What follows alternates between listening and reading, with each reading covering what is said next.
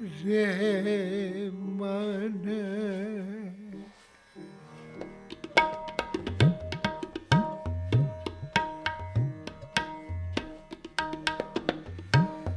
ਰੇ ਮਨ ਰੇ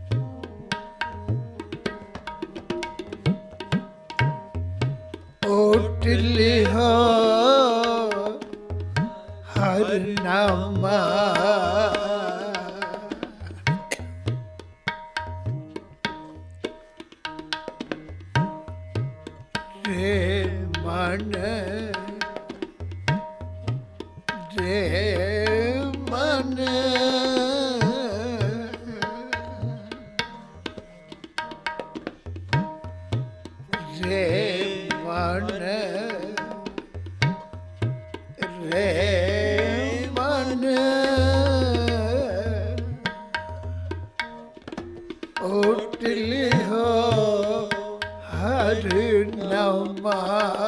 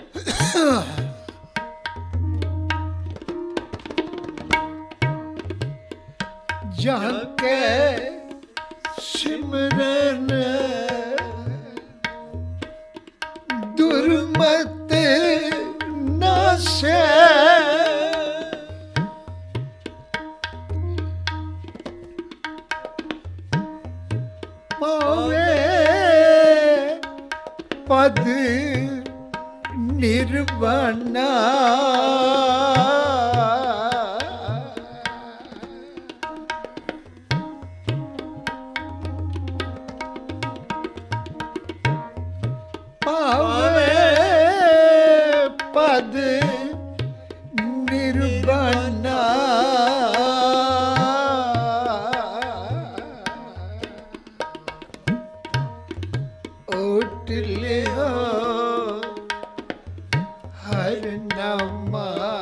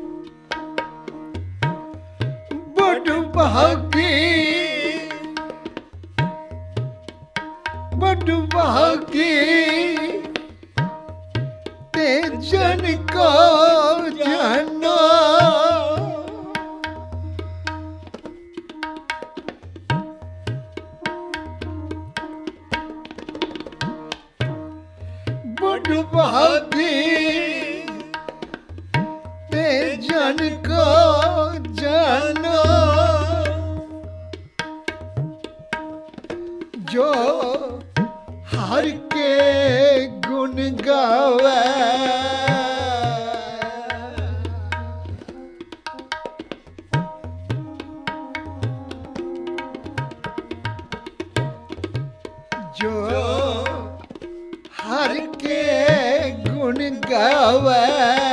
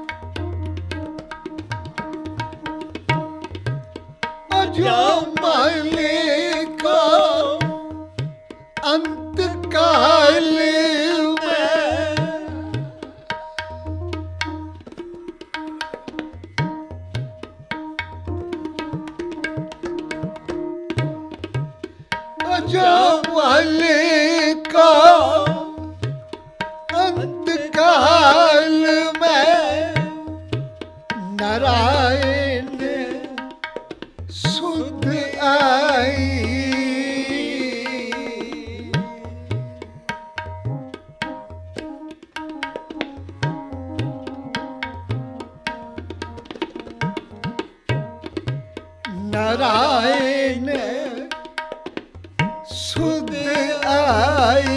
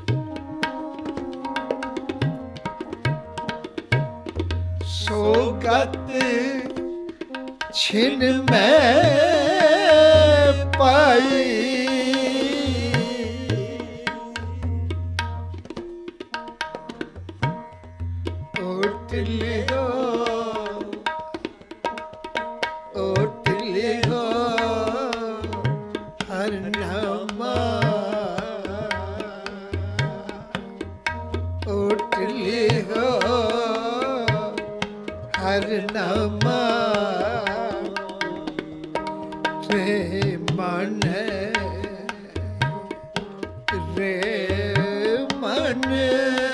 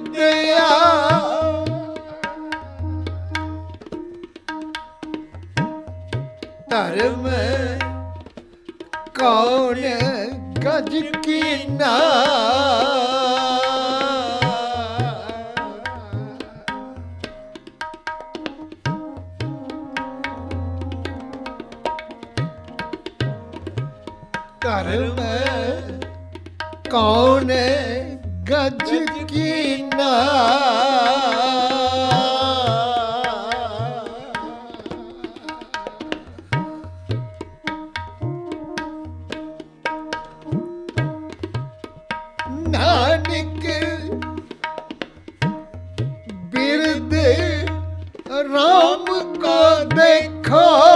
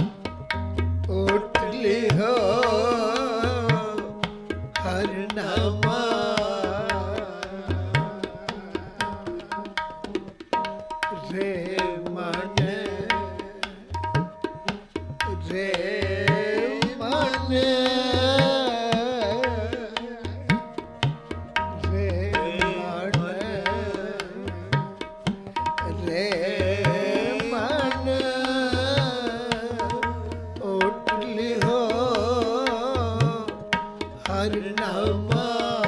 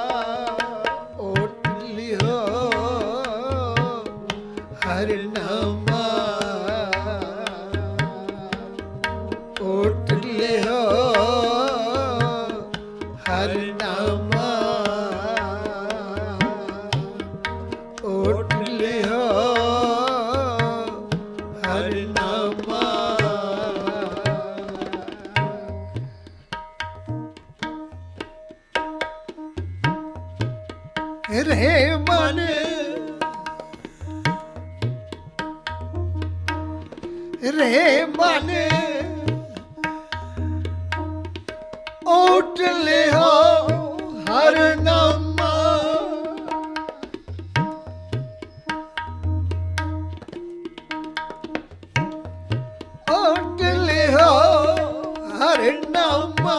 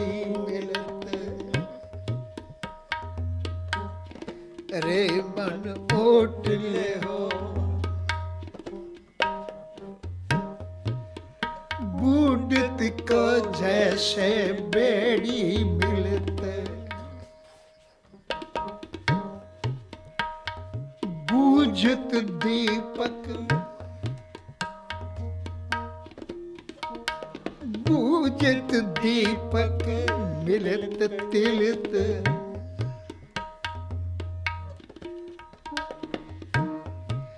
जलत अग्नि मिलत नीर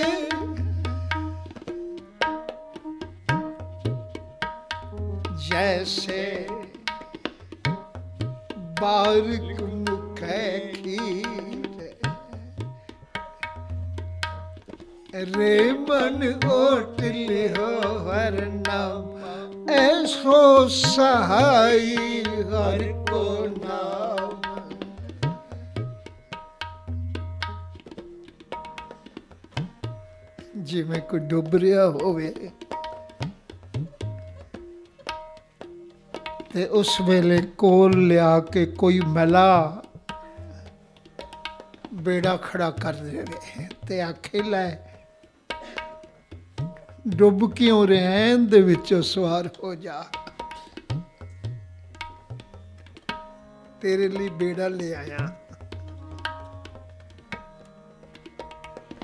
ਜਿਵੇਂ ਦੀਪਕ ਟਿਮਟਿਮਾ ਰਿਹਾ ਹੋਵੇ,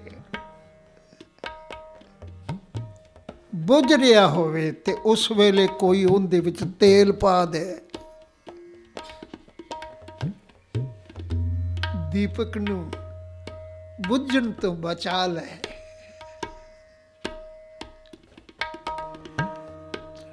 ਜਿਵੇਂ ਕਿਸੇ ਦੇ ਘਰ ਨੂੰ ਅੱਗ ਲੱਗੀ ਹੋਵੇ ਘਰ ਜਲ ਰਿਹਾ ਹੋਵੇ। ਉਸ ਵੇਲੇ ਮੋਲੇ ਧਾਰ ਬਾਰਿਸ਼ ਪੈ ਜਾਏ। ਬੱਦਲ ਚੜ ਕੇ ਆ ਜਾਣ ਮੋਲੇ ਧਾਰ ਬਾਰਿਸ਼ ਪੈ ਜਾਏ। ਭਲਾ ਇਹੋ ਜੇ ਸਮੇਂ ਅਚਾਨਕ ਕੋਈ ਪੱਕਰ ਜਾਏ। ਗੁਰੂ ਤੇਗ ਬਹਾਦਰ ਸਾਹਿਬ ਵੀ ਕਹਿੰਦੇ ਨੇ, ਬਸ ਇਉਂ ਦਿਸਦਾ ਹੈ। ਉਸੇ ਦਾ ਨਾਮ ਹਰ ਕਾ ਨਾਮ ਹੋਵੇਗਾ। ਸਤਿਗੁਰੂ ਕਹਿੰਦੇ ਨੇ, ਰੇ ਮਨ ਓਟ ਲਿਓ ਹਰ ਨਾਮਾ। ਐਸੋ ਸਾਈ ਹਰ ਕੋ ਨਾਮ। बूढ़त को जैसे बेड़ी मिलत बूझत दीपक मिलत तिलत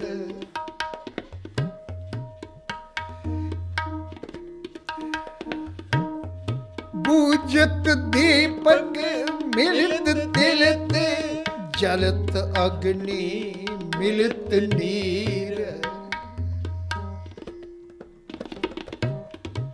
ਜੈਸੇ ਬਾਰਿਕ ਬੱਚਾ ਰੋ ਰਿਹਾ ਹੋਵੇ ਤੇ ਮਾਂ ਉਸ ਨੂੰ ਦੁੱਧ ਪਿਆਉਣ ਲੱਗ ਪਵੇ, ਇੱਕਦਮ ਖਮੋਸ਼ ਚੁੱਪ ਹੋ ਜਾਂਦਾ ਹੈ। ਜੈਸੇ ਬਾਰਿਕ ਮੁਖੇ ਖੀਰ, ਐਸੋ ਸਹਾਈ ਹਰ ਕੋ ਨਾਮ। जैसे रन में सखा भरात जैसे भूखे भोजन मात जैसे किरखे बरस मेघ, जैसे पालन सरग ਐਸੋ ਸਹਾਈ ਹਰਿ ਕੋ ਨਾਮ ਰੇ ਮਨ ਓਟਿਲ ਹੋ ਹਰ ਨਾਮਾ ਓਟਿਲ ਹੋ ਹਰ ਨਾਮਾ नामा ਜਾਂਕੇ ਸਿਮਰਨ ਦੁਰਮਤ ਨਾਸੈ ਜੀਵਨ ਦਾ ਸਾਰਾ ਦੁਖਾਂਤ ਦੁਰਮਤ ਦੇ ਕਾਰਨ ਹੈ।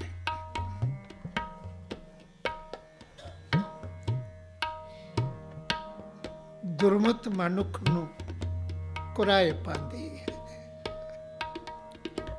ਗੁਰੂ ਤੇਗ ਬਹਾਦਰ ਪਾਤਸ਼ਾਹ ਜੀ ਦੇ ਰਾਮਕਲੀ ਰਾਗ ਵਿੱਚ ਤਿੰਨ ਸ਼ਬਦ ਨੇ। ਜਿੰਦੇ ਵਿੱਚ ਪਹਿਲੇ ਦੋ ਸ਼ਬਦਾਂ ਦਾ ਕੇਂਦਰੀ ਮਸਲਾ ਖੜਾ ਹੀ ਇੱਥੇ ਹੈ ਦੁਰਮਤ ਤੇ।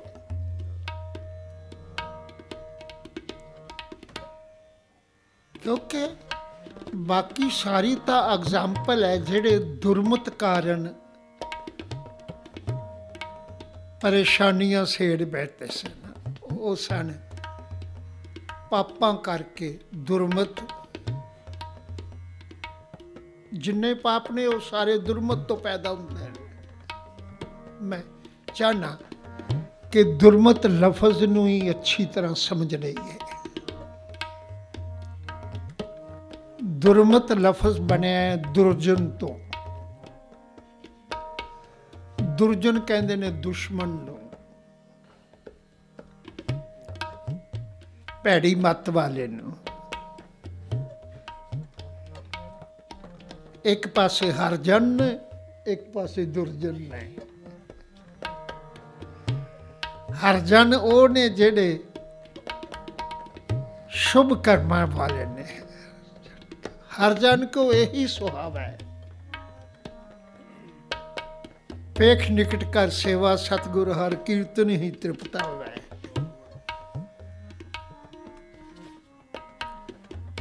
ਹਰਜਨ ਤੇ ਦੁਰਜਨ ਭੈੜੀ ਮਤ ਵਾਲਾ। ਸਤਿਗੁਰੂ ਕਹਿੰਦੇ ਰੱਬ ਦੇ ਵਿਛੋੜੇ ਦਾ ਕਾਰਨ ਹੀ ਦੁਰਜਨ ਹੈ। ਸਤਿਗੁਰੂ ਬਾਣੀ ਵਿੱਚ ਕਹਿੰਦੇ ਨੇ। ਦੁਰਜਨ ਸੇ ਤੀਨ ਰਚਾਇਓ ਮੈਂ ਦੱਸਾਂ ਵਿਖਾਵੇਂ ਦਾ ਕਾਰਨ ਕੀ ਹੈ ਤੇਰੇ ਵਿੱਚ ਕੋਈ ਕਮੀ ਨਹੀਂ। ਉਣੀ ਨਹੀਂ, ਚੂਣੀ ਨਹੀਂ ਨਹੀਂ ਕਿਸੇ ਵਿਹੂਣੀ। ਫਿਰ ਛੈਲ ਛਬੀਲਾ ਛੱਡ ਗਵਾਇਓ। ਤੇਰੇ ਵਿੱਚ ਹੋਰ ਕੋਈ ਕਮੀ ਨਹੀਂ। ਕਿਉਂਕਿ ਤੂੰ ਦੁਰਜਨ ਸੇ ਤੀਨੇ ਹੋ ਰਚਾਇਓ। ਦਸ ਵਿਖਾਮੇ ਕਾਰਨ। ਮੈਂ ਤੈਨੂੰ ਰੱਬ ਨਾਲੋਂ ਟੁੱਟਣ ਦਾ ਕਾਰਨ ਦੱਸਣਾ ਉਹ ਇਹ ਹੈ ਕਿ ਤੂੰ ਦੁਰਜਨ ਨਾਲ ਨਿਉ ਲਾ ਲਿਆ। ਤੇ ਦੁਰਜਨ ਕੀ ਹੈ? ਦੁਰਜਨ ਦੂਜਾ ਭਾਵ ਹੈ ਦੂਜਾ ਭਾਵ ਕੀ ਹੈ ਇਹ ਲੜੀ ਹੈ ਦੂਜਾ ਭਾਵ ਕੀ ਹੈ ਖਸਮ ਛੋੜ ਦੂਜੇ ਲੱਗੇ ਦੂਜਾ ਭਾਵ ਕੀ ਹੈ ਆਪੀ ਨੇ ਆਪ ਸਾਜਿਓ ਆਪੀ ਨੇ ਰਚਿਓ ਨਾਉ ਦੂਜੀ ਕੁਦਰਤ ਸਾਜੀ ਹੈ। ਜਿਹੜਾ ਰੱਬ ਨੂੰ ਛੱਡ ਕੇ ਕੁਦਰਤ ਦੀ ਪੂਜਾ ਕਰਦਾ ਹੈ, ਉਹ ਦੁਰਜਨ ਹੈ। ਰੱਬ ਤੋਂ ਵਿਛੜਿਆ ਹੋਇਆ ਹੈ। ਦਰਖਤਾਂ ਨੂੰ ਪੂਜ ਰਿਹਾ ਹੈ। ਦਰਿਆਵਾਂ ਨੂੰ, ਪਾਣੀ ਨੂੰ ਪੂਜ ਰਿਹਾ ਹੈ। ਧਰਤੀ ਨੂੰ ਪੂਜ ਰਿਹਾ ਹੈ। ਚੰਦਰਮਾ ਤੇ ਸੂਰਜ ਨੂੰ ਪੂਜ ਰਿਹਾ ਹੈ। ਇਹਨਾਂ ਨੂੰ ਬਣਾਉਣ ਵਾਲਾ ਜਿਹੜਾ ਇੱਕ ਹੈ, ਉਹਦੀ ਪੂਜਾ ਕੋਈ ਨਹੀਂ, ਉਹਨੂੰ ਜਾਣਦਾ ਵੀ ਨਹੀਂ। ਦੂਜੇ ਭਾਉ ਵਿੱਚ ਹੈ ਨਾ ਤੇ ਇੱਥੇ ਲਫ਼ਜ਼ ਹੈ ਦੁਰਮਤ, ਜਿਹੜਾ ਜਿਹੜੀ ਮਤ ਉਸ ਦੁਰਜਨ ਕੋਲੋਂ ਮਿਲੇ। ਕਿਉਂਕਿ ਮਤ ਜਿਹੜੀ ਹੈ, ਉਹ ਮਨ ਦੀ ਮਾਂ ਹੈ। ਇਹ ਆਪਾਂ ਫਿਰ ਹੌਲੀ ਹੌਲੀ, ਕਿਉਂਕਿ ਮੈਨੂੰ ਮੇਰੇ ਸਾਹਮਣੇ 2 ਹਫ਼ਤੇ ਦਾ ਗੁਰੂ ਤੇਗ ਬਹਾਦਰ ਪਾਤਸ਼ਾਹ ਜੀ ਦਾ ਪੈਦਾ ਕੀ, ਸਾਹਮਣੇ ਰੱਖਿਆ ਹੋਇਆ ਮਸਲਾ ਇਹ ਹੋਈ ਹੈ। ਜਿਹਨੂੰ ਚੰਗੀ ਤਰ੍ਹਾਂ ਵਿਚਾਰਨਾ ਚਾਹਨਾ। ਗੁਰਬਾਣੀ ਅਨੁਸਾਰ ਮਤ ਜਿਹੜੀ ਹੈ, ਉਹ ਮਨ ਦੀ ਮਾਂ ਹੈ। ਉਹ ਜਿਹਾ ਮਨ ਬਣਦਾ ਹੈ ਜਿਉ ਜੀ ਮਤ ਮਿਲੇ। ਗੁਰਮਤ ਤੇ ਦੁਰਮਤ ਦਾ ਜਿਹੜਾ ਫ਼ਰਕ ਹੈ, ਉਹ ਵੀ ਅਸੀਂ ਸਮਝਣਾ ਹੈ। ਕਿਉਂਕਿ ਮਤ ਜਿਹੜੀ ਜੈਸੀ ਮਤ ਦੇ ਤੈਸਾ ਪ੍ਰਗਾਸ। ਗੁਰਬਾਣੀ ਅਨੁਸਾਰ ਮੈਂ ਹੈਰਾਨ ਹੁੰਨਾ।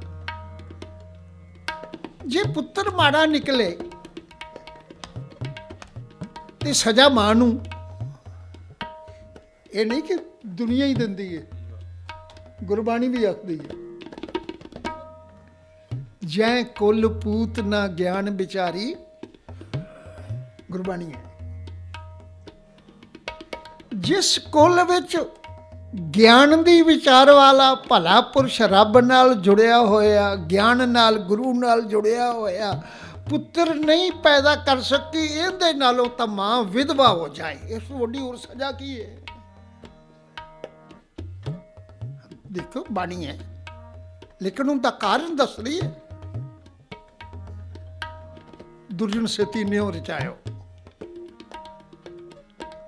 ਗੁਰਬਾਣੀ ਆਖਰੀ, ਜੇ ਕੋਈ ਭਲਾ ਪੁਰਸ਼ ਨਹੀਂ ਪੈਦਾ ਕਰਨਾ, ਬੁਰੇ ਮਨੁੱਖ, ਬੁਰੇ ਬੱਚੇ ਦੇ ਨੂੰ ਜਨਮ ਦੇਣਾ ਹੈ ਤੇ ਇਹਦੇ ਨਾਲੋਂ ਉਸ ਦੇ ਜਨਮ ਤੋਂ ਪਹਿਲਾਂ ਮਾਂ ਵਿਧਵਾ ਕਿਉਂ ਨਹੀਂ ਹੋ ਗਈ? ਜੈ ਕੁਲ ਪੂਤ ਨਾ ਗਿਆਨ ਵਿਚਾਰੀ। ਵਿਧਵਾ ਕਸ ਨਾ ਭਈ ਬੇ ਮਤਾਰੀ। ਕਿਹੜੀ ਅਜੀਬ ਗੱਲ ਹੈ। ਪੁੱਤਰ ਪੈਦਾ ਨਹੀਂ ਹੋਇਆ, ਗਿਆਨਵਾਨ ਤੇ ਸਜ਼ਾ ਮਾਂ ਨੂੰ ਤੇ ਜੇ ਕੋਈ ਗਿਆਨਵਾਨ ਭਲਾ ਪੁਰਸ਼ ਪੈਦਾ ਹੋ ਗਿਆ, ਤੇ ਮਾਂ ਨੂੰ ਹੀ ਸਤਕਾਰ ਮਿਲਿਆ, ਆਖਿਆ ਧਨ ਜਨਨੀ ਜਿਨ ਜਾਇਆ ਹੈਂ? ਜਨਨੀ ਵੀ ਧਨ ਹੈ ਜਿਨੇ ਪੁੱਤਰ ਜਨਮਿਆ ਹੈ। ਕਿਉਂ ਇਹ ਦੋਨੋਂ ਗੱਲਾਂ ਮਾਂ ਨਾਲ ਕਿਉਂ ਜੁੜੀਆਂ ਕਿਉਂਕਿ ਮਾਂ ਦੀ ਗੋਦੀ ਵਿੱਚ, ਮਾਂ ਦੀ ਸਿੱਖਿਆ ਵਿੱਚ ਮਾਂ ਮੱਤ ਹੈ। ਉਹ ਮਾਂ ਨੇ ਮੱਤ ਜਿਉ ਜੀ ਦੇਣੀ ਹੈ। ਆਰੰਭ ਵਿੱਚ ਬੱਚੇ ਨੇ ਉਹ ਜਾਈ ਬਣਨਾ ਹੈ। ਬੜਾ ਲੰਬਾ ਚੌੜਾ ਮਸਲਾ ਹੈ। ਆਪਾਂ ਦੋ ਹਫ਼ਤੇ ਵਿੱਚ ਇਹ ਸਮਾਪਤ ਕਰਾਂਗੇ। ਕੋਸ਼ਿਸ਼ ਕਰਾਂਗੇ। ਤੇ ਲਵਾਂਗੇ ਦੁਰਮਤ ਵਿੱਚ। ਹੀ। ਕਿਉਂਕਿ ਇਹਦੇ ਚ ਮੱਤ ਲਫ਼ਜ਼ ਆਇਆ ਹੈ। ਦੁਰਮਤ ਦੁਰਮਤ ਦਾ ਮਸਲਾ ਹੈ, ਭੈੜੀ ਮਤ। ਜਿਉ ਜੀ ਮਤ ਆਵੇਗੀ ਤੇ ਜਿਉ ਜੀ ਮਾਂ ਹੋਵੇਗੀ, ਉਹ ਜੀ ਮਤ ਆਵੇਗੀ, ਕਿਉਂਕਿ ਨਾ ਕਾਸ਼ੀ ਮਤ ਉਪਜੇ, ਨਾ ਕਾਸ਼ੀ ਮਤ ਜਾਏ। ਮਤ ਕੋਈ ਸਮਝੇ ਵੀ ਬਿਨਾ ਮਤ ਤੋਂ ਜਾਂ ਕਿਸੇ ਥਾਂ ਦੀ ਮੱਤ ਤੋਂ, ਟਿਕਾਣੇ ਤੋਂ ਮਨ ਬਦਲ ਜਾਂਦਾ ਹੈ, ਇੱਕ ਵਿਸ਼ਵਾਸ ਕਰਿਓ, ਜਿਉ ਜੀ ਮੱਤ ਮਿਲਦੀ ਏ, ਉਹ ਜਿਹਾ ਮਨ ਬਦਲਦਾ ਹੈ।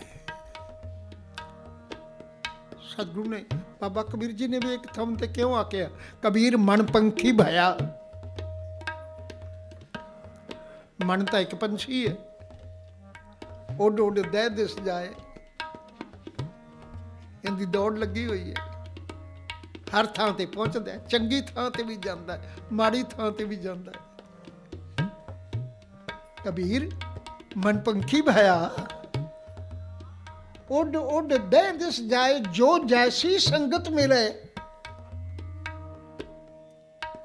ਸੋ ਤੈਸੋ ਫਲ ਖਾਏ।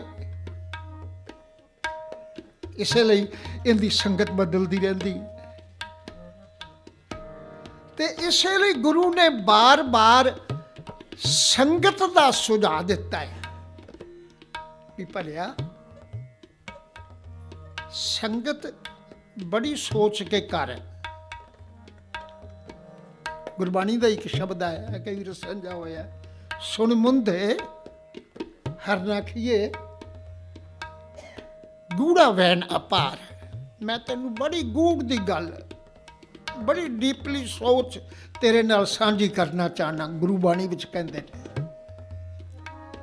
ਸੁਣ ਮੁੰਦ ਹਰ ਨਾਖੀਏ ਗੂੜਾ ਵੈਨ ਅਪਾਰ, ਗੂੜਾ ਬਚਨ, ਤੇਰੇ ਨਾਲ ਸਾਂਝਾ ਕਰਨਾ। ਉਹ ਇਹ ਕਿ ਪਹਿਲਾਂ ਵਸਤ ਸਿਝਾਣ ਕੇ ਤਾਂ ਕੀਚੈ ਵਪਾਰ। ਬਸ ਆ ਗੱਲ ਯਾਦ ਰੱਖੀ। ਆਪਣੇ ਜੀਵਨ ਦਾ ਵਪਾਰ, ਕਿਉਂਕਿ ਤੇਰਾ ਇੱਕ ਇੱਕ ਸਵਾਸ ਬੜਾ ਕੀਮਤੀ ਹੈ, ਲਿਖੇ ਲੱਗਣਾ ਕਿਸੇ ਦੀ ਸੰਗਤ ਵਿੱਚ ਵੀ ਤੂੰ ਬੈਠੇਗਾ 2 4 5 ਮਿੰਟ 10 ਮਿੰਟ, ਤਾਂ ਪਤਾ ਨਹੀਂ ਕਿੰਨੇ ਕੁ ਸਵਾਸ ਉਥੇ ਲੱਗ, ਲਿਖੇ ਲੱਗ ਜਾਣੇ ਨੇ। ਸਵਾਸ ਨੇ ਕੀਮਤੀ। ਇਹਨਾਂ ਦੀ ਕੀਮਤ ਸਮਝ ਲੈ। ਇਹਨਾਂ ਦਾ ਵਪਾਰ ਤੂੰ ਬਦਲੇ ਵਿੱਚ ਕੀ ਲਿਆ ਹੈ ਜਿੱਥੇ ਸਵਾਸ ਖਤਮ ਕੀਤੇ ਨੇ, ਜਿੱਥੇ ਬੈਠ ਕੇ ਤੂੰ ਸਵਾਸ ਲਏ ਨੇ, ਘਟਾਏ ਨੇ ਆਪਣੇ, ਉਹਦੇ ਬਦਲੇ ਵਿੱਚ ਤੈਨੂੰ ਕਿਹੜੀ ਮੱਤ ਮਿਲੀ ਏ? ਇਹਦਾ ਵਪਾਰ ਜਿਹੜਾ ਹੈ ਇਸ ਵਪਾਰ ਦਾ ਧਿਆਨ ਕਰ। ਪਹਿਲਾਂ ਬਸ ਜਾਣ ਕੇ ਤਾਂ ਕੀਚੈ ਵਪਾਰ। ਅਗਲੀ ਲਾਈਨ ਵਿੱਚ ਦੁਰਜਨ ਲਫ਼ਜ਼ ਆਇਆ ਹੈ। ਕਹਿੰਦੇ ਨੇ ਦੋ ਹੀ ਦਿੱਚੈ ਦੁਰਜਨਾ। ਮਿੱਤਰਾਂ ਕੂ ਜੈਕਾਰ। ਜਿਹੜੇ ਦੁਰਜਨ ਹੋਣ ਦੁਸ਼ਮਣ ਹੋਣ, ਉਹ ਜੇ ਕਿਤੇ ਸੰਗਤ ਤੈਨੂੰ ਉਹਨਾਂ ਦੀ ਮਿਲ ਜਾਏ, ਉਹ ਤੈਨੂੰ ਕੁਰਾਏ ਪਾਉਣਗੇ। ਭੈੜੀ ਮੱਤ ਦੇਣਗੇ। ਤੇਰੇ ਜੀਵਨ ਨੂੰ ਦੁਖਾਂਤ ਵਿੱਚ ਪਾ ਦੇਣਗੇ। ਇਸ ਲਈ ਤੇਰਾ ਦੁਸ਼ਮਣ ਹੈ, ਦੁਰਜਨ ਤੇ ਦੁਸ਼ਮਣ ਦੋਨੋਂ ਗੱਲਾਂ ਸ੍ਰੀ ਗੁਰੂ ਗ੍ਰੰਥ ਸਾਹਿਬ ਦੀ ਬਾਣੀ ਵਿੱਚ ਇਕੱਠੀਆਂ ਵੀ ਆਈਆਂ ਨੇ ਕਈ ਥਾਂ ਤੇ। ਇਕੱਠਾ ਲਫ਼ਜ਼ ਆਇਆ। ਦੁਰਜਨ ਕੀ ਹੈ? ਦੁਸ਼ਮਣ ਤੇ ਦੁਸ਼ਮਣ ਕੋਲੋਂ ਕਦੇ ਭਲਾ ਨਾ ਸੋਚੀ, ਆਸ ਨਾ ਰੱਖੀ, ਉਹ ਤੈਨੂੰ ਕੁਰਾਏ ਪਾਵੇਗਾ, ਭੈੜੀ ਬੁੱਧ, ਭੈੜੀ ਮੱਤ ਦੇਵੇਗਾ। ਤੇ ਜਿਹੜੀ ਉਹ ਮਤ ਹੋਵੇਗੀ ਨਾ ਭੈੜੀ, ਦੁਰਜਨ ਦੀ, ਉਸੇ ਦਾ ਨਾਮ ਫਿਰ ਹੋਵੇਗਾ ਦੁਰਮਤ। ਤੇ ਗੁਰੂ ਤੇਗ ਬਹਾਦਰ ਪਾਤਸ਼ਾਹ ਉਸੇ ਕੋਲੋਂ ਬਚਨ ਦੀ ਕਹਿੰਦੇ ਨੇ, ਜੇ ਭਲਾ ਤੈਨੂੰ ਕਿ ਤੇਰੇ ਅੰਦਰ ਦੁਰਮਤ ਦਾ ਕੋਈ ਅੰਸ਼ ਟਿਕ ਗਿਆ ਜਿੰਦੇ ਕਾਰਨ ਤੂੰ ਰੱਬ ਨੂੰ ਭੁੱਲ ਗਿਆ ਹੈ ਤੇ ਨਾਸ਼ ਕਰ ਦੇ, ਖਤਮ ਕਰ ਦੇ ਉਸ ਦੁਰਮਤ ਨੂੰ। ਹੁਣ ਅੱਗੇ ਆਪਾਂ ਚੱਲਾਂਗੇ ਆਉਣ ਵਾਲੇ ਸਮੇਂ ਅੰਦਰ ਵੀ ਉਹ ਦੁਰਮਤ ਨਾਸ਼ ਕਿਵੇਂ ਹੁੰਦੀ ਹੈ ਕਿਉਂਕਿ ਮਸਲਾ ਗੁਰੂ ਤੇਗ ਬਹਾਦਰ ਪਾਤਸ਼ਾਹ ਜੀ ਦੇ ਸ਼ਬਦ ਦਾ ਤੇ ਜਾਂ ਕੇ ਸਿਮਰਨ ਦੁਰਮਤ ਨਾਸੇ। ਜੇ ਰੱਬ ਨੂੰ ਚੇਤੇ ਕਰੇ, ਵਿਸ਼ਵਾਸ ਕਰ ਤੇਰੇ ਅੰਦਰ ਬੈਠੀ ਹੋਈ ਦੁਰਮਤ ਜਿਹੜੀ ਹੈ ਦੁਸ਼ਮਣ ਦੀ ਦੁਰਤ ਦੀ ਦਿੱਤੀ ਹੋਈ ਮਤ ਉਹ ਨਾਸ ਹੋਵੇਗੀ। ਪਰ ਨਾਸ ਕਿਵੇਂ ਹੋਏਗੀ? ਤੈਨੂੰ ਦੁਹਾਈ ਪਾਉਣੀ ਪਵੇਗੀ। ਮੈਨੂੰ ਕੋਈ ਬਚਾ ਲਓ। ਦੋਹੀ ਵਿੱਚ ਦੁਰਜਨਾ ਜੇ ਤੈਨੂੰ ਕੋਈ ਦੁਸ਼ਮਣ, ਦੁਰਜਨ, ਭੈੜੀ ਮਤ ਵਾਲਾ ਕੁਰਾਏ ਪਿਆ ਹੋਇਆ, ਗੁਨਾਹਗਾਰ, ਪਾਪਾਂ ਦੇ ਰਾਹ ਆ ਗੈਂਗ ਕਿੱਥੋਂ ਬਣਦੇ ਨੇ? ਇੱਕ ਦੂਜੇ ਦੀ ਸੰਗਤ ਵਿੱਚੋਂ ਗੈਂਗ ਬਣ ਜਾਂਦੇ ਨੇ। ਫਿਰ ਉਹ ਗੁਨਾਹ ਕਰਦੇ ਨੇ। ਮੈਂ ਹੁਣ ਇਕੱਲਾ ਥੋੜਾ ਉਹ ਇਕੱਠੇ ਹੋਣ ਦਾ ਵੀ ਹੰਕਾਰ ਹਉਮੈ ਬਣ ਜਾਂਦੀ ਹੈ ਸਤਿਗੁਰੂ ਨੇ ਪਾਣੀ ਵਿੱਚ ਆਖਿਆ ਮਨੰਤਰ ਹਉਮੈ ਰੋਗ ਹੈ। ਸਤਿਗੁਰੂ ਨੇ ਬਾਣੀ ਵਿੱਚ ਆਖਿਆ ਤੇ ਉਸ ਜਿਹੜਾ ਅੰਦਰ ਹਉਮੈ ਦਾ ਰੋਗ ਹੈ ਨਾ ਉਹ ਦੁਰਜਨ ਦੇ ਅੰਦਰ ਪੈਦਾ ਹੁੰਦਾ ਹੈ। ਮਨ ਅੰਤਰ ਹਉਮੈ ਰੋਗ ਹੈ, ਭਰਮ ਭੂਲੇ ਮਨਮੁਖ ਦੁਰਜਨਾ। ਉਸ ਹਉਮੈ ਦੇ ਰੋਗ ਵਿੱਚ ਦੁਰਜਨ ਜਿਹੜੇ ਨੇ, ਉਹ ਇੱਕ ਗੈਂਗ ਬਣਦੇ ਨੇ। ਇਕੱਠੇ ਹੁੰਦੇ ਨੇ। ਤੇ ਉਹ ਰੋਗ ਮਿਟਦਾ ਕਿਵੇਂ ਹੈ? ਨਾਨਕ ਰੋਗ ਗਵਾਏ, ਮਿਲ ਸਤਗੁਰ ਸਾਧੂ ਸੱਜਣਾ। ਇੱਕ ਪਾਸੇ ਦੁਰਜਨ ਹੈ, ਉਹਦੇ ਤੋਂ ਦੁਰਮਤ ਪੈਦਾ ਹੋਣੀ ਸੀ। ਇੱਕ ਪਾਸੇ ਸੱਜਣ ਹੈ, ਮਿੱਤਰ ਹੈ, ਉਥੇ ਤੋਂ ਗੁਰਮਤ ਮਿਲ ਰਹੀ ਹੈ। ਦੋਵਾਂ ਦਾ ਆਪਸੀ ਸਾਹਮਣਾ ਹੈ। ਤੇ ਗੁਰੂ ਕਹਿੰਦੇ ਨੇ, ਜਦੋਂ ਜੇ ਕੋਈ ਦੁਰਜਨ ਆਵੇ ਤਾਂ ਤੈਨੂੰ ਦੁਸ਼ਮਣ ਦਾ ਪਤਾ ਪਛਾਣ ਹੋਣੀ ਚਾਹੀਦੀ ਹੈ ਨਾ। ਜਿਹੜਾ ਭੈੜੇ ਕਰਮ ਕਰਨ ਵਾਲਾ ਹੈ, ਗੁਨਾਹਗਾਰ ਤੈਨੂੰ ਰੱਬ ਨਾਲੋਂ ਤੋੜਨ ਵਾਲਾ ਹੁੰਦੇ ਨੇੜੇ ਨਾ ਬਈ, ਦੁਹਾਈ ਪਾ ਦੇਈ, ਮੈਨੂੰ ਬਚਾ ਲਓ। ਦੋਹੀ ਦਿੱਚੇ ਦੁਰਜਨਾ ਤੇ ਮਿੱਤਰ ਜਿਹੜੇ ਤੈਨੂੰ ਰੱਬ ਨਾਲ ਜੋੜਨ ਵਾਲੇ ਹੋਣ, ਉਹਨਾਂ ਦੀ ਜੈ ਜੈਕਾਰ ਕਰੀ, ਆਖੇ ਬੜੀ ਜਕਾਰੇ ਕੋ ਜਾਈ, ਵੀ ਮੈਨੂੰ ਚੰਗੀ ਸੰਗਤ ਮਿਲ ਗਈ ਹੈ। ਆ ਹੈ ਦੁਰਜਨ ਦੀ ਨਿਸ਼ਾਨੀ। ਦੁਰਜਨ ਕਦੀ ਚੰਗੇ ਰਾਹ ਨਹੀਂ ਪਾਉਂਦਾ। ਤੇ ਗੁਰੂ ਕਹਿੰਦੇ ਨੇ, ਗੁਰੂ ਤੇਗ ਬਹਾਦਰ ਪਾਤਸ਼ਾਹ ਜੀ ਨੇ ਰਾਮਕਲੀ ਦੇ ਪਹਿਲੇ ਸ਼ਬਦ ਵਿੱਚ ਵੀ ਇਹੋ ਗੱਲ ਆਖੀ, ਕਹਿਣ ਲੱਗੇ ਰੇ ਮਨ ਉਠ ਲਿਓ ਹਰ ਜਾਂ ਕੇ ਸਿਮਰਨ। ਦੁਰਮਤ ਨਾਸੇ ਸਭ ਤੋਂ ਪਹਿਲਾ ਕੰਮ ਜਿਹੜਾ ਹੈ, ਉਹ ਦੁਰਮਤ ਦਾ ਨਾਸ ਹੋਵੇ। ਦੇਖ ਲੈ, ਜਿਨ੍ਹਾਂ ਦੀ ਦੁਰਮਤ ਨਾਸ ਹੋਈ, ਉਹ ਦੁਰਮਤ ਵਿੱਚ ਇਹੋ ਜਿਹੇ ਸਨ। ਕਹਿੰਦੇ ਨੇ ਕਿਵੇਂ? ਬੜੇ ਭਾਗੀ ਤੇ ਜਨ ਕੋ ਜਾਣੋ ਜੋ ਹਰ ਕੇ ਗੁਣ ਗਾਵੇ ਜਨਮ ਜਨਮ ਕੇ ਪਾਪ ਖੋਏ ਕੈ ਜਨਮ ਜਨਮਾਤਰਾਂ ਤੋਂ ਪਾਪ ਇਕੱਠੇ ਹੋ ਗਏ ਸਨ ਤੇ ਉਹਨਾਂ ਨੇ ਜਦੋਂ ਦੁਰਜਨ ਦੀ ਗ੍ਰਿਪ ਤੋਂ ਬਾਹਰ ਆ ਕੇ ਰੱਬ ਨਾਲ ਜੁੜੇ ਪ੍ਰਭੂ ਨਾਲ ਜੁੜੇ ਉਹ ਸਾਰੇ ਪਾਪ ਖਤਮ ਹੋ ਗਏ ਆ ਪਿਛਲੇ ਦਿਨਾਂ ਚ ਇੱਕ ਐਗਜ਼ਾਮਪਲ ਆਈ ਸੀ ਨਾ ਭਗਤ ਵੱਡਾ ਰਾਜਾ ਜਨ ਕੈ ਗੁਰਮੁਖ ਮਾਇਆ ਵਿੱਚ ਉਦਾਸ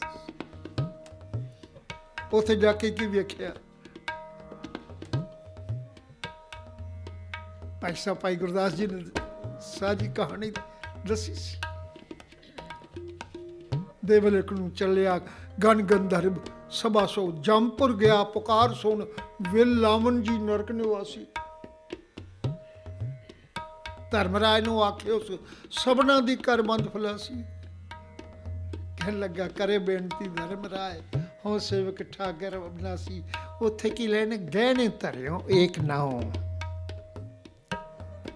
ਮਨ ਓਟ ਹਰਨਾਮਾ ਗਹਿਣੇ ਧਰਿਓ ਏਕ ਨਾਉ। ਪਾਪਾਂ ਨਾਲ ਕਰੇ ਨਿਰਜਾਸੀ ਪਾਸ ਪਾਪ ਨਾ ਪੁੱਜਨੇ। ਉਹ ਮੁਕਾਬਲਾ ਕਿਵੇਂ ਕਰਨ? ਨਰਕੋ ਛੁੱਟੇ ਜੀ ਜੰਤ। ਬੜ ਭਾਗੀ ਤੇ ਜਨ ਕੋ ਜਾਨੋ ਜੋ ਹਰ ਕੇ ਗੁਣ ਗਾਵੇ। ਜਣੀ ਜਨ ਕੇ ਪਾਪ ਕਰਮ ਕੇ ਜਨ ਜਨ ਕੇ ਪਾਪ ਖੋਏ ਕੇ ਫੁਨ ਬੈਕੁੰਠ ਸਿਧਾਵੇ ਇਹ ਗੁਰਮਤ ਨਾਸ, ਦੁਰਮਤ ਨਾਸ ਹੋਈ। ਫਿਰ ਕਹਿਣ ਲੱਗੇ ਅਜਮਲ ਵੀ ਤਾਂ ਦੁਰਮਤ ਵਿੱਚ ਸੀ। ਉਹਦਾ ਪਾਪ ਵੀ ਖਤਮ ਹੋ ਗਿਆ। ਤੇ ਜਿਹੜੀ ਗਤ, ਜਿਹੜੀ ਸਟੇਜ, ਜਿਹੜੀ ਅਵਸਥਾ ਕਦੀ ਜੋਗੀਸ਼ਵਰ ਘਰ-ਬਾਰ ਛੱਡ ਕੇ ਜੰਗਲਾਂ ਵਿੱਚ ਤਪ ਕਰਕੇ ਪ੍ਰਾਪਤ ਕਰਨਾ ਚਾਹੁੰਦੇ ਸਨ ਉਹ ਉਹਨੂੰ ਮਿਲ ਗਈ। ਅਜਾ ਮਲਕੋ, ਅੰਤਕਾਲ ਮੈਂ ਨਾਰਾਇਣ ਸੁਦਾ ਜਾਂ ਗਤ ਕੋ ਜੋਗੀਸ਼ਰ ਬਾਂਛਤ, ਸੋ ਗਤ ਛਿਣ ਮੈਂ ਪਾਈ। ਕਹਿਣ ਲੱਗੇ, ਮੈਂ ਪੁੱਛਦੇ ਹਾਂ, ਇੱਕ ਐਗਜ਼ਾਮਪਲ ਦੇ ਰਹੇ ਨੇ। ਕਹਿੰਦੇ ਨੇ, ਨਾਹਣ ਗੁਣ, ਨਾਹਣ ਕਛ ਵਿਦਿਆ। ਉਹ ਤਾਂ ਵਿਚਾਰਾ ਪਸ਼ੂ ਹੈ। ਗੱਜ ਹਾਥੀ ਨੂੰ ਕਹਿੰਦੇ ਨੇ। ਹਾਥੀ ਨੇ ਕਿਹੜਾ ਗੁਣ ਕੀਤਾ ਸੀ? ਉਹਨੇ ਕਿਹੜੀ ਵਿਦਿਆ ਪੜ੍ਹੀ ਸੀ? ਕਿਹੜਾ ਉਹਨੇ ਧਰਮ ਕੀਤਾ ਸੀ? ਸਿਰਫ ਇੱਕੋ ਹੀ ਆਪਣੀ ਦੁਰਮਤ ਦੀ ਪਰੇਸ਼ਾਨੀ ਤੋਂ ਰੱਬ ਅੱਗੇ ਅਰਦਾਸ ਕੀਤੀ। ਰੱਬ ਚੇਤੇ ਕੀਤਾ। ਪ੍ਰਭੂ ਚੇਤੇ ਕੀਤਾ। ਤੇ ਕਹਿਣ ਲੱਗੇ ਤਾਂ ਪ੍ਰਭੂ ਦੀ ਮਿਹਰ ਹੈ ਨਾ, ਉਹਦਾ ਬਿਰਧ ਹੈ। ਉਹਨੇ ਉਹਨੂੰ ਵੀ ਨਿਰਭੈ ਕਰ ਦਿੱਤਾ। ਮੌਤ ਦੇ ਡਰ ਤੋਂ ਬਚਾ ਲਿਆ। ਨਾਨ ਗੁਣ ਨਾਨ ਕਛ ਵਿਦਿਆ। ਧਰਮ ਕੌਣ ਗਜ ਕੀਨਾ? ਨਾਨਕ ਬਿਰਧ RAM ਕੋ ਦੇਖੋ। ਉਹਦਾ ਬਿਰਧ ਐਸਾ ਹੈ। ਉਹ ਦੇਖ ਲੈ, ਉਹਨੂੰ ਵੀ ਅਬਹਿ ਅਬਹਿ ਦਾਨ ਪ੍ਰਤੈ ਦੀਨਾ। ਇਸ ਲਈ ਭਲਿਆ, ਜੇ ਦੁਰਮਤ ਤੋਂ ਬਚਣਾ ਹੈ, ਜੇ ਦੁਰਮਤ ਵਿੱਚੋਂ ਪਰੇਸ਼ਾਨੀਆਂ ਜੀਵਨ ਬਰਬਾਦੀ ਤੋਂ ਬਚਣਾ ਹੈ, ਤਾਂ ਇੱਕੋ ਗੱਲ ਕਰ। ਉਹ ਇਹ ਕਿ ਪਛਾਣ ਲੈ ਦੁਰਮਤ ਕਿੱਥੋਂ ਮਿਲਦੀ ਹੈ। ਦੁਰਮਤ ਮਿਲਦੀ ਹੈ ਦੁਰਜਨ ਕੋਲੋਂ। ਤੇ ਦੁਰਜਨ ਦੀ ਸੰਗਤ ਤੋਂ ਬਚ ਜਾ। ਸਤਿਗੁਰੂ ਨੇ ਬਾਣੀ ਵਿੱਚ ਇੱਕ ਥਾਂ, ਗੁਰੂ ਤੇਗ ਬਹਾਦਰ ਪਾਤਸ਼ਾਹ ਜੀ ਨੇ ਇੱਕ ਥਾਂ ਤੇ ਨਹੀਂ ਆਖੀ। ਇਹ ਗੱਲ ਬਾਰ-ਬਾਰ ਸਮਝਾਈ ਹੈ। ਜੋ ਨਰ ਦੁੱਖ ਮੈਂ ਦੁੱਖ ਨਹੀਂ ਮਾਨੇ, ਸੁਖ ਸਨੇ ਅਰ ਮੈਂ ਭੈ ਨਹੀਂ ਜੰਗ ਕੇ ਕੰਚਨ ਮਾਟੀ ਮਾਨੇ। ਇਹ ਸਤਿਗੁਰੂ ਹੋਰ ਸ਼ਬਦ ਵਿੱਚ ਕਹਿੰਦੇ ਨੇ, ਸਾਧੋ ਮਨ ਕਾ ਮਾਨ ਤਿਆਗੋ, ਕਾਮ ਕ੍ਰੋਧ। ਅੱਗੇ ਕੀ ਹੈ? ਸੰਗਤ ਦੁਰਜਨ ਕੀ? ਦੁਸ਼ਮਣਾਂ ਦੀ ਸੰਗਤ ਤੋਂ ਬਚ ਦੁਸ਼ਮਣ ਇਹ ਨਹੀਂ ਕਿ ਜਿਹੜਾ ਤੇਰੇ ਪੈਸੇ ਦਾ ਨੁਕਸਾਨ ਕਰਦਾ ਤੇਰੇ ਕਾਰੋਬਾਰ ਦਾ ਨੁਕਸਾਨ ਕਰਦਾ ਹੈ। ਦੁਸ਼ਮਣ ਉਹ ਨਹੀਂ ਜਿਹੜਾ ਹੱਥ ਵਿੱਚ ਤਲਵਾਰ ਫੜ ਕੇ ਤੇਰੇ ਸਰੀਰ ਨੂੰ ਕਤਲ ਕਰਨਾ ਚਾਹੁੰਦਾ ਉਹ ਵੀ ਦੁਸ਼ਮਣ ਹੈ ਜਿਹੜਾ ਤੇਰੇ ਗੁਣ ਖਤਮ ਕਰਨਾ ਚਾਹੁੰਦਾ ਉਹ ਵੀ ਦੁਸ਼ਮਣ ਹੈ ਜਿਹੜਾ ਤੈਨੂੰ ਭੜੇ ਰਾਹ ਪਾਉਣਾ, ਤੈਨੂੰ ਝੂਠ ਬੋਲਣਾ ਸਿਖਾ ਰਿਹਾ ਹੈ। ਇਸ ਲਈ ਉਹਦੀ ਸੰਗਤ ਤੋਂ ਬਾਅਦ ਜਿਹੜੇ, ਜਿਹੜਾ ਤੇਰੇ ਗੁਨਾ ਨੂੰ ਅਵਗੁਣਾ ਵਿੱਚ ਬਦਲਣਾ ਚਾਹੁੰਦਾ ਹੈ, ਕਿਉਂਕਿ ਉਹਦੀ ਦਿੱਤੀ ਹੋਈ ਮਤ ਵਿੱਚ ਦਾ ਨਤੀਜਾ ਇਹ ਨਿਕਲੇਗਾ, ਤੇਰੇ ਗੁਣ ਵੀ ਅਵਗੁਣ ਹੋ ਜਾਣਗੇ। ਸਤਿਗੁਰੂ ਨੇ ਕਿਉਂ ਬਾਣੀ ਵਿੱਚ ਆਖਿਆ ਹਰ ਬਿਸਰਤ ਤੇਰੇ ਗੁਣ ਗਲਿਆ। ਜਦੋਂ ਉਹ ਤੈਨੂੰ ਰੱਬ ਨਾਲੋਂ ਤੋੜ ਦਿੰਦਾ ਹੈ, ਜਦੋਂ ਪ੍ਰਭੂ ਨਾਲੋਂ ਵਿਛੋੜ ਦਿੰਦਾ ਹੈ, ਹਰੀ ਦੀ ਬਿਸਰਨ ਦੀ ਦੇਰ ਹੈ, ਕਿਉਂਕਿ ਰੱਬ ਗੁਣ ਹੈ। ਉਹ ਗੁਣਾਂ ਦਾ ਸੰਗ੍ਰਹਿ ਹੈ। ਜਦੋਂ ਉਹਦੇ ਨਾਲੋਂ ਟੁੱਟ ਜਾਏਗਾ, ਵਿਸ਼ਵਾਸ ਕਰ, ਤੇਰੇ ਅੰਦਰ ਦੇ ਜਿਹੜੇ ਗੁਣ ਨੇ, ਉਹ ਗਲ ਜਾਣਗੇ, ਅਵਗੁਣ ਬਣ ਜਾਣਗੇ। ਜਦੋਂ ਤਾਜ਼ੀ ਚੀਜ਼ ਲਿਆਉਂਦੇ, ਉਦੋਂ ਹੋਰ ਚੀਜ਼ ਹੈ। ਉਹੋ ਹੀ ਸਬਜ਼ੀ, ਉਹੋ ਹੀ ਫਰੂਟ ਉਹੋ ਹੀ ਵਸਤੂ ਜਦੋਂ ਤਾਜ਼ੀ ਲਿਆਂਦੀ ਹੁੰਦੀ ਹੈ, ਉਹਦੇ ਵਿੱਚ ਕੋਈ ਗੁਣ ਹੁੰਦਾ ਹੈ। ਕੁਝ ਦਿਨ ਰਾਤ ਬਾਅਦ ਉਹ ਗਲ ਗਲ ਜਾਏ, ਉਹਦੇ ਵਿੱਚੋਂ ਬਦਬੂ ਆਉਣ ਲੱਗ ਪੈਂਦੀ ਹੈ। ਸਬਜ਼ੀ ਉਹੋ ਹੀ ਹੈ ਜਿਹੜੀ ਚਾਹ ਨਾਲ ਲਿਆਂਦੀ ਸੀ, ਹੁਣ ਗਲ ਗਈ। ਇਸੇ ਤਰ੍ਹਾਂ ਗੁਣ ਵੀ ਗਲ ਜਾਂਦੇ ਨੇ। ਇੱਥੇ ਲਫ਼ਜ਼ ਅਵਗਣ ਨਹੀਂ ਆਇਆ, ਲਫ਼ਜ਼ ਗੋਣੀ ਆਇਆ। ਪਰ ਕਹਿੰਦੇ ਨੇ, ਉਹ ਗੁਣ ਕਦੋਂ ਗਲਦਾ ਹੈ? ਸਬਜ਼ੀ ਕਦੋਂ ਗਲਦੀ ਹੈ? ਜਦੋਂ ਨੂੰ ਫ੍ਰਿਜ ਵਿੱਚ ਨਾ ਰੱਖੋ। ਫ੍ਰਿਜ ਵਿੱਚ ਕੀ ਹੈ? ਠੰਡ। ਸ਼ੀਤਲਤਾ। ਤੇ ਗੁਰੂ ਨੇ ਬਾਣੀ ਵਿੱਚ ਆਖਿਆ ਨਾਮ ਸ਼ੀਤਲਤਾ ਹੈ। ਨੈ ਸ਼ੀਤਲੰ ਚੰਦਰ ਦੇਵ ਹੈ, ਨੈ ਸ਼ੀਤਲੰ ਬਾਮਨ ਚੰਦਨ ਹੈ। न शीतलंग सर्द रोते हैं ਨਾਨਕ ਸੀਤਲੰਗ ਸਾਧ ਸਮਝਣਾ ਹੈ ਕਹਿੰਦੇ ਚੰਦਰਮਾ ਵਿੱਚ ਉਹ ਠੰਡ ਨਹੀਂ ਚੰਦਨ ਵਿੱਚ ਵੀ ਉਹ ਠੰਡ ਨਹੀਂ ਸਰਦੀਆਂ ਦੇ ਰੁੱਤ ਵਿੱਚ ਵੀ ਉਹ ਠੰਡ ਨਹੀਂ ਜਿਹੜੀ ਸ਼ੀਤਲਤਾ ਸਾਧ ਸੰਗਤ ਵਿੱਚ ਹੈ ਭਾਵ ਇੱਥੇ ਹੈ ਨਾਮ ਦੀ ਸ਼ੀਤਲਤਾ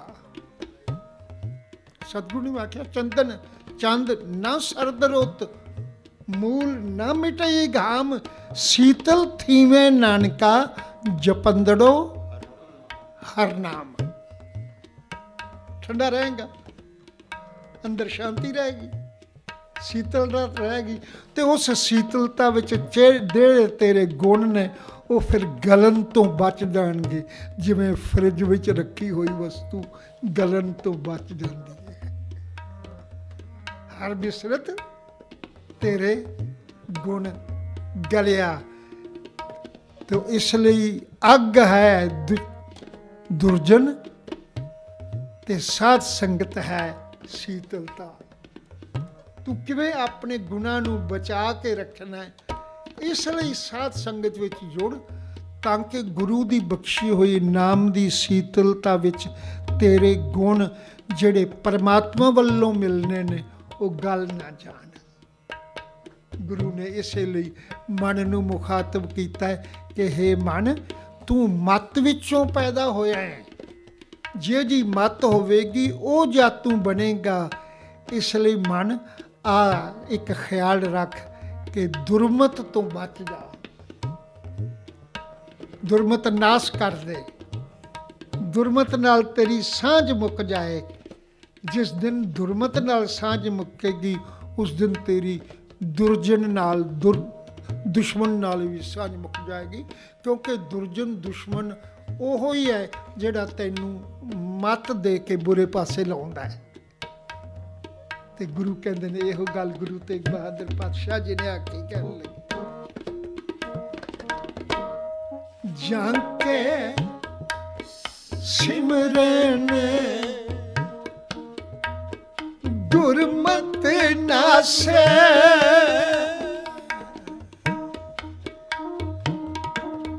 ਜਾਂ ਕੇ ਸਿਮਰਨ ਜਾਂ ਕੇ ਸਿਮਰਨ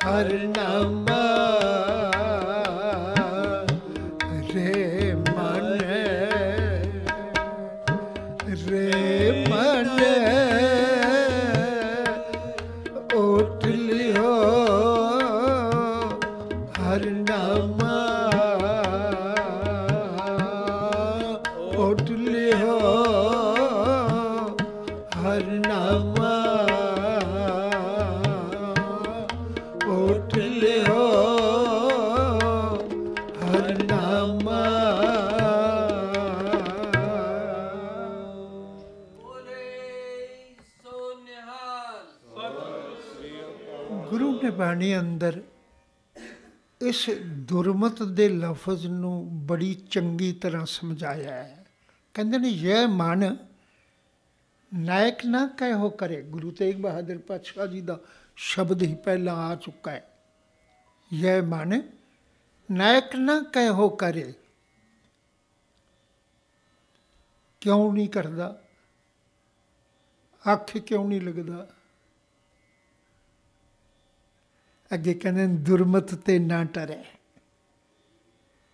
ਜਾਂ ਜਾਤੇ ਭਗਤ ਰਾਮ ਕੀ ਪਾਵੇ, ਦੁਰਮਤ ਤੇ ਨਾ ਟਰੇ। ਇਹ ਉਹ ਗੱਲ ਮੰਨਦਾ ਹੀ ਨਹੀਂ ਜਿਹੜੀ ਕਿ ਦੁਰਮਤ ਤੋਂ ਹਟਾਉਣ ਵਾਲੀ, ਦੁਰਮਤ ਦੇ ਘੇਰੇ ਵਿੱਚ ਐਨਾ ਆ ਚੁੱਕਾ ਹੈ। ਬਲਕਿ ਗੁਰਬਾਣੀ ਅੰਦਰ ਇੱਕ ਦੁਰਮਤ ਦੀ ਗੱਲ ਨਿਸ਼ਾਨੀ ਗੁਰੂ ਸਾਹਿਬ ਨੇ ਦੱਸੀ, ਕਹਿਣ ਲੱਗੇ, ਨਿਤ ਨੇ ਫਿਲ ਕਰਮ ਕਮਾਏ ਬਫਾਵੇ ਦੁਰਮਤੀਆ। ਦੁਰਮਤੀਏ ਦੀ ਨਿਸ਼ਾਨੀ ਕੀ ਹੈ? ਜਿਹੜਾ ਦੁਰਬਨ ਦੁਰਜਨ ਕੋਲੋਂ, ਦੁਸ਼ਮਣ ਕੋਲੋਂ ਮਤ ਲੈ ਕੇ ਜੀਵਨ ਗੁਜ਼ਾਰ ਰਿਹਾ ਹੈ, ਉਹਦੀ ਨਿਸ਼ਾਨੀ ਕੀ ਹੈ? ਸਤਿਗੁਰੂ ਬਾਣੀ ਵਿੱਚ ਕਹਿੰਦੇ ਨੇ, ਨਿਤ ਨੇਫਲ ਕਰਮ ਕਮਾਏ, ਬਫਾਵੇ। ਬਫਾਵੇ ਦਾ ਮਤਲਬ ਹੁੰਦਾ ਹੰਕਾਰ ਵਿੱਚ, ਗਰਭ ਵਿੱਚ। ਕੰਮ ਭੈੜੇ ਕਰਦਾ ਪਰ ਹੰਕਾਰ ਵਿੱਚ ਹੈ ਕਿ ਮੇਰੇ ਵਰਗਾ, ਮੇਰੇ ਕੋਲ ਫਲਾਣਾ ਡਰ ਗਿਆ। ਨਿਤ ਨਿਰਫਲ ਕਰਮ ਕਮਾਵੇ, ਕਮਾਏ ਬਫਾਵੇ ਦੁਰਮਤਿਆ। ਜਬ ਆਨੇ ਬਲਵੰਚ ਕਰ ਝੂਠ, ਤਬ ਜਾਣੇ ਜਗ ਜੁਤੀਆ। ਜਦੋਂ ਪਖੰਡ ਕਰਕੇ ਝੂਠ ਬੋਲ ਕੇ ਕਮਾਈ ਕਰਕੇ ਲਿਆਉਂਦਾ, ਨਾ ਇਹ ਨਹੀਂ ਸੋਚਦਾ ਵੀ ਮੈਂ ਝੂਠ ਬੋਲਿਆ ਹੈ, ਮੈਂ ਪਖੰਡ ਕੀਤਾ ਹੈ, ਮੈਂ ਧੋਖਾ ਕੀਤਾ ਬਲਕਿ ਇਹ ਆਖਦਾ ਤਬ ਜਾਣੇ ਜਗ ਜੁਤੀਆ। ਉਹ ਮੈਂ ਜਿੱਤ ਕੇ ਆ ਗਿਆ, ਉਹ ਤਾਂ ਭੋਲਾ ਉਹ ਹਾਰ ਗਿਆ ਮੇਰੇ ਸਾਹਮਣੇ। ਮੇਰੀ ਗੱਲ ਸਮਝ ਹੀ ਨਹੀਂ ਸਕਿਆ। ਮੇਰੇ ਧੋ, ਧੋਖੇ ਨੂੰ, ਮੇਰੇ ਝੂਠ ਨੂੰ ਪਛਾਣ ਹੀ ਨਹੀਂ ਸਕਿਆ। ਉਹਦੇ ਵਿੱਚ ਵੀ ਆਪਣੀ ਜਿੱਤ ਸਮਝਦਾ ਹੈ ਸਤਿਗੁਰੂ ਨੇ, ਗੁਰੂ ਤੇਗ ਬਹਾਦਰ ਪਾਤਸ਼ਾਹ ਜੀ ਨੇ ਵੀ ਇਹੋ ਆਖਿਆ ਕਿ ਕਹਿਣ ਲੱਗੇ, ਮੈਂ ਦੇਖਦਾ ਕੀ ਆ, ਪਖੰਡ ਕਰਮ ਕਰਕੇ। ਇਹ ਮਨ ਨਾਇਕ ਨਾ ਕਹਿਓ ਕਰੇ ਕਹਿਣ ਲੱਗੇ ਸੀਖ ਸਿਖਾਏ ਰਹੋ ਆਪਣੀ ਸੀ ਦੁਰਮਤ ਤੇ ਨਾ ਟਰੇ। ਮੈਂ ਬੜੀ ਸਿੱਖਿਆ ਦਿੱਤੀ, ਇਹਨੂੰ ਸਮਝਾਇਆ, ਪਰ ਇਹਨੇ ਦੁਰਮਤ ਨਹੀਂ ਛੱਡੀ। ਸੀਖ ਸਿਖਾਏ ਰਹੋ ਆਪਣੀ ਸੀ ਦੁਰਮਤ ਤੇ ਨਾ ਡਰੇ ਨਾ ਡਰੇ ਕਰ ਪਰ ਪ੍ਰਪੰਚ ਉਧਰ ਨਿਜ ਭੁੱਖ ਹੈ, ਪਸ ਜੋ ਉਧਰ ਭਰੇ ਪਰਪੰਚ ਕਰਕੇ, ਝੂਠ ਬੋਲ ਕੇ, ਪਖੰਡ ਕਰਕੇ, ਦੌਲਤ ਇਕੱਠੀ ਕਰਕੇ ਆਪਣਾ ਪੇਟ ਭਰਦਾ ਹੈ, ਪਰ ਦੁਰਮਤ ਤੋਂ ਪਿੱਛੇ ਨਹੀਂ ਹਟਦਾ। ਤੇ ਗੁਰੂ ਤੇਗ ਬਹਾਦਰ ਪਾਤਸ਼ਾਹ ਬਾਰ-ਬਾਰ ਇੱਕ ਗੱਲ ਸਮਝਾ ਰਹੇ ਨੇ ਕਿ ਜੇ ਜੇ ਜੀਵਨ ਨੂੰ ਸੁਰੱਖਿਅਤ ਕਰਨਾ ਹੈ, ਤਾਂ ਦੁਸ਼ਮਣ ਦੀ ਮੱਤ ਤੋਂ ਬਚ ਜਾ, ਕਿਉਂਕਿ ਦੁਸ਼ਮਣ ਨੇ ਕਦੀ ਚੰਗੀ ਮੱਤ ਨਹੀਂ ਦੇਣੀ। ਤੇ ਜਿਹੜੀ ਗਾ- ਮੱਤ ਦੁਸ਼ਮਣ ਦੇਵੇ, ਉਸੇ ਦਾ ਨਾਮ ਦੁਰਮਤ ਹੈ। ਦੁਰਜਨ ਦੀ ਮੱਤ, ਦੁਸ਼ਮਣ ਦੀ ਮੱਤ, ਉਹਦੇ ਕੋਲੋਂ ਬਚਣਾ ਹੈ। ਇਹਨਾਂ ਸ਼ਬਦਾਂ ਨਾਲ ਖਿਮਾਂਦਾ ਜਾ ਚੁੱਕਾ ਫਤਿਹ ਬੁਲਾਓ। ਵਾਹਿਗੁਰੂ ਜੀ ਕਾ ਖਾਲਸਾ, ਵਾਹਿਗੁਰੂ ਜੀ ਕੀ ਫਤਿਹ।